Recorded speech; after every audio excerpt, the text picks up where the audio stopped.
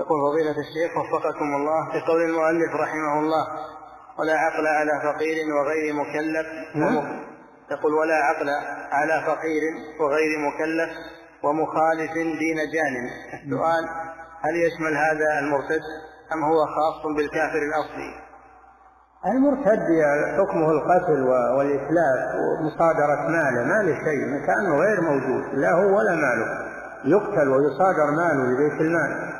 وتبين زوجته والعياذ بالله يعتبر غير موجود. نعم. هو مثل الكافر الأصلي. نعم. المرتد لا يقر على ردته. خلاف الكافر فيتصالح معه ويتعاهد معه ويقر على ما هو عليه. نعم.